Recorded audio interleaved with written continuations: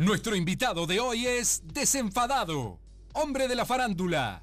El chimento en Mar del Plata pasa por sus manos, el rey de las mil y una noches. Con solo un clic está donde debe estar. Conoce la infama como nadie. Es bien de verano o bien de invierno porque es marplatense de 12 meses. Con nosotros, Juan Manuel Marini. Eso dice el documento, pero es Indy. Así, señores, nuestro invitado del día de hoy. ¿Cómo le va? ¿Cómo le va, Pepe? Bienvenido, ¿eh? Qué gusto estar en la televisión en vivo de Mar del Plata. ¿no? Este, un formato que, que ustedes vienen implementando hace tanto tiempo, probando de, de- de mediodía y de tarde, y así que este, muy contento de estar acá. Bueno, pero presente en, en- en la tele, en el cable, en Mar del Plata, ¿desde hace cuánto ya? Ya en el cable, eh, mi presencia tiene 8 años, Sí. el programa que, que realizo tiene 11, se Ajá. cumple 11 años este, este año, que es Click Televisión, en, en el- en- en el cable marplatense. Sí. Y después hace 7 años que, que me desempeño como movilero para el cable eh, nacional, como es Magazine, con, con Ángel de Brito y con un programa que comenzaba por dos meses, creo que como ustedes, ¿no? Sí, claro. Este, sí. Y después se extendió en el tiempo y nos convertimos en un clásico del cable. Qué bueno. Bueno, metido ahí eh, en todo lo que tiene que ver con la farándula, la cubrís todo el tiempo. Sí. eh, ahí te cruzás con Jere de vez en cuando. Sí, cuando Jere este, eh, elige hacer un poco de farándula, ¿no? Sí. Porque es un tipo multifacético que hace también espectáculos, Hace todo, sí. deportes, todo. cocina también. También, más o menos. Muy bien, sí, sí, sí, excelente. Bueno, hijo, Como ¿cómo, cómo fue para vos meterte en, en ese mundo, digamos? ¿Era algo que vos buscabas?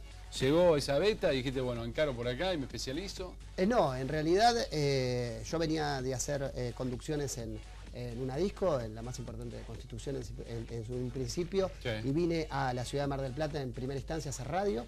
Este, se me dio con el tiempo trabajar con Sergio Velasco Ferrero, que estaba en el bosque Sí. de Alta Ramos. Sí. y de ahí este, encaramos la primera mañana con un programa que llamaba Piel de Verano, Ajá. para Radio Belgrano y junto a, a- a Marvis, y hacía yo los móviles eh, a 10 metros de él, como que estaba en distintas partes de Mar del Plata, Sí. pero en realidad estirábamos un cable. Ahí fue mi primer móvil, extendido a 10 metros. Eh, acá, porque el radio. teatro, porque esto, porque Sí. el otro. Ese fue mi primer móvil, él se convirtió en mi padrino artístico y a partir de ahí elegí hacer radio, hacer conducciones de, de- de discos, de, de matinés, de noches y de desfiles.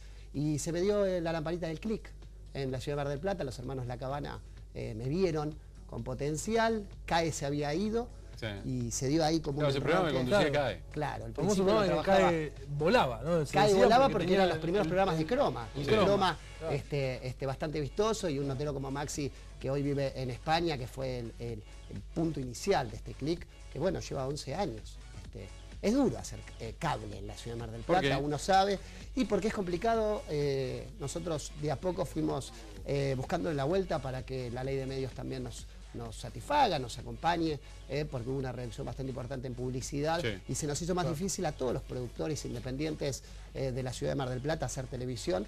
Eh, muchos programas han desaparecido, muchos programas son proyectos guardados y archivados durante mucho tiempo. Me cruzo con gente que quiere hacer televisión, que quiere mostrar un servicio o, lo que pasa en la ciudad. Nosotros eh, nos especializamos siempre en la música, en los eventos nocturnos, en los eventos nocturnos, En los eh, eventos los nocturnos. eventos a veces, eh, Sí. y el día también. Algo, algo. Bueno, eh, cubriste de todo en estas temporadas en las que siempre Sí. pasa algo, siempre hay un bolonqui, un Y si no hay, escándalo. se inventa. Que eso es lo no más inventa, importante porque hay que hacer eh, televisión todos los días. ¿Cómo funciona eso? El día que vos te levantás, ¿no? Sí. Tenés que eh, de- Pleno demostrar verano, que estás laburando. Desde allá necesitan material, obviamente. Te dicen, che, ¿qué tenemos hoy? Y no hay nada, está planchado mal. Primero, lo primero que haría yo, llamar a mis tres productoras, Sí. eh, que América manda todos los veranos, y les diría, bueno, ¿cuál es la rutina? Y ellas automáticamente con eh, muy poco hacen mucho. Eh, son creadores de temas. ¿Sos La partícipe televisión- vos de esa creación de ideas? Eh, en muchos casos sí, en muchos casos no, y en el último de los casos eh, la idea se eh, brota tres minutos antes de salir al aire. Bueno, ¿con qué vamos? Bueno, es esto. Eh, nos ha pasado y a veces la, la- la- la- la idea y el tema se desborda al aire, que es lo que uno busca, ¿no? El, el- el pinchazo de los panelistas. Esta es la nueva televisión. El panelista, el, el- que también eh, se suma a una entrevista, que, que- que encuentra y que sabe hacia dónde va la entrevista y lo único que hay que hacer es, es explotar eh, al máximo el invitado, ¿no?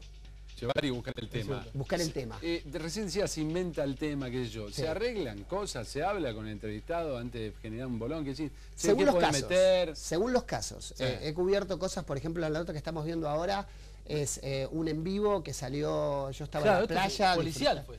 Esto Veamos fue muy policial, en donde, este, bueno, el panel de, de- de- de Infama cubre todo, este, también todo lo que tiene que ver en, en ese verano con Ford. Fue el último Sí. verano en la chacra, acá en la ciudad de Mar del Plata, un Ford ya deteriorado eh, físicamente, y se encontró con un, con un escándalo policial porque se encontraron eh, mm, las personas que estaban detrás de cámara, los que no aparecían, que cuidaban a Ricardo Ford, con los mediáticos en esa misma chacra, en Sí. donde Ford en el medio quedó este, con un, un gran ataque de pánico.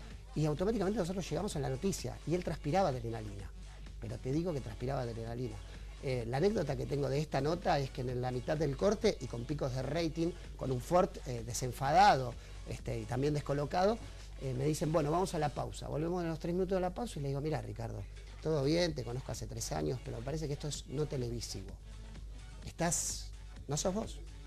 Estás transpirando, estabas, viste, viste, Ricardo sí, era sí. un caballero. un- este, me miró así y se quedó callado. Le digo, me parece que tenés que ir a pegarte una ducha y bajar un cambio. Y a los dos minutos se levantó y desapareció Ford. ¿Dónde está Ford? Santiago del Moro. ¿Dónde está Ford? ¿Dónde está Ford? Me pareció lo más humano Sí. dentro de lo que era el show televisivo. Volvió vestido de blanco a los 15 minutos, bañadito, perfumado, y volvió a ser Ford. entendió.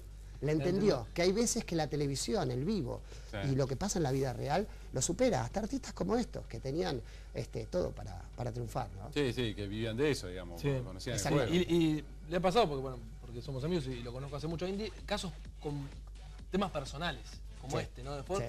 Jacobo Winograd, o sea, muchas personas que eh, donde has estado en momentos difíciles, Difíciles. y que hay hay que manejar este tipo de gente. Y esta última temporada, eh, Jacobo cada vez que emitía sonido estaba toda la cúpula de América esperando a que no diga una mala palabra más.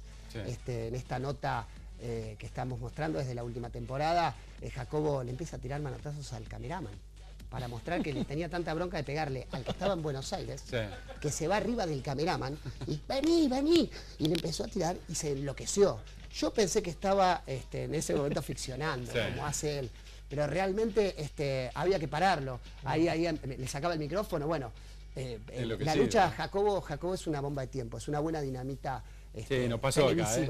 Nos con un ¿Les final pasó? que te digo, quedamos temblando. Este, Mandó sí, una sí, sí. denuncia, una cosa Sí, eh, increíble. es complicado, es pero, pero bueno, él eh, no tiene filtro, es importante, también hay, hay lugar en la televisión para estos mediáticos que no tienen filtro y que pueden opinar de todo, ¿no? Sí. ¿Cuál es el invitado que más garpa, digamos? El entrevistado que más garpa cuando, cuando lo haces para Buenos Aires? Eh, bueno, me parece que este verano se me dio mucho con Pinti. Con Pinti. Pinti, Pinti era eh, un tipo que, que, bueno, que Claro. respira, te- opinólogo. respira teatro. Y se creó en este verano una, una historia que tenía que ver con que los teatros no funcionaban y que la gente no iba al teatro, Sí. cosa que no fue así. No. Los números lo revirtieron, lo dijeron al final. Este, hubo un incremento del 3%, pero no hubo caída. Este, pero se había creado como una nube. Totalmente, Eh, cuando arrancó era la temporada es mala. Es verdad. nosotros estamos todo el año. Sí, sí, Pepe. claro, sí, sí, por supuesto. Eh, nosotros sabemos, nosotros respiramos verano a partir de octubre. Ajá. Eh, pensamos que vamos a hacer en octubre, ustedes como productora, nosotros Sí, sí, como sí. productores, eh, para hacer televisión en vivo. Y me parece que este, tuvimos un verano muy bueno. Un verano, bueno, Pedro sabrá, un verano climatológicamente increíble, con un enero que. Y ahora un clima tropical, uno. Sí, eh, sí, era, raro escuchar eso Ah, porque sí. después salías y, y no había menos gente que otros Claro. años. Yo trabajaba para dos programas de- a nivel nacional y la bajada este, era como que busquemos por qué no hay gente en Claro, el teatro. Y uno respondía, no, en realidad esto está funcionando. Vengan, está funcionando. Este, Mar del Plata es más grosso que Broadway. A nivel, a nivel espectáculo, hoy es el Día del Teatro y bueno, nada, eh, tenemos inversiones de casi 360 obras esta última temporada. Eh, me parece una ciudad increíble y que aparte este, a, las grandes, a los grandes apellidos del Teatro Nacional se le cae la baba por hacer temporada de Mar del Plata. Pase lo que pase. ¿eh? Sí, sí, y, y muchos han, han cimentado su carrera con éxitos. Pero por acá, a partir de éxito de la temporada, Por totalmente. cierto. Y- bueno, ya se estaba al lado de muchos que han crecido acá. Y en estas temporadas, en estas siete temporadas de BDB y tres, dos o tres de Infama. Ayudar, eh, creo, creo- creo que nosotros todos, este, ustedes también eh, como programa platense, ayudamos al remo a los que no tienen esta- esa movida de prensa increíble. Me parece que... bueno, este verano, por ejemplo, pasó con Fernando Ramírez, por ejemplo, ¿no?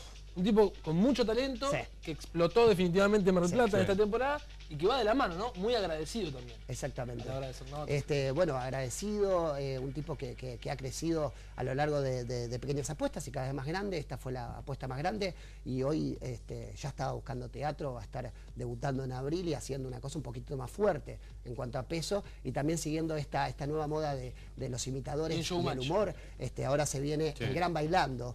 En, en- en Showmatch, que también me parece que le va a poner esa cuota política que le faltaba también al, al programa. ¿no? Sí, estaba faltando en la tele, me parece. Ya, me un parece que año sí, ¿no? Es el que rompe las agujas del rating, Sí, sí, sí. Este, un Marcelo Tinelli. Totalmente, levanta el encendido para todo, la verdad que es impresionante lo que sigue, lo que sigue generando. Se mueren por aparecer, los artistas te empiezan a buscar, te dicen, che, me vas a hacer una nota, llaman. Bueno, me ha pasado muchos casos en donde el conductor, uno vive la temperatura del conductor. Entonces el conductor, hablemos Ángel de Brito, por ejemplo, Sí. estaba peleado, había veranos que estaba peleado con Forta a muerte. Y había veranos que estaba peleado con Pachano a muerte. Y había veranos donde estaba amado de, de Carmen. Entonces uno tenía que odiar a Pachano. Automáticamente, Sí. explicarle a Pachano. Y Pachano ya sabía. Sí. Y el tipo te, te seguía el juego, pero igualmente te seguía presionando. Este, Pachano le pongo como ejemplo, ¿no? Había pasado con, los- con chicos o grandes eh, artistas, este, pero nada, eh, sí, me ha pasado de decir, no te puedo hacer nota, sabes que no te puedo hacer nota. Este, lo que, lo que sí he, he sufrido fueron las guardias. La palabra guardia me parece que son los kilómetros que uno no ha hecho en la, en la, en la universidad o, Sí. o estudiando periodismo. No soy un... La cobertura un- de Ford, internado Claro. acá en la Colón, ¿no? Bueno, sí, sí, he vivido... Eso son horas y horas y horas y Eh, horas. sí, esperar a Carmen y a Moria a lo largo de los años son horas y horas de estar sentado en una escalera, eh, esperando a que, a que realmente eh, se terminen. Y bueno, y es parte de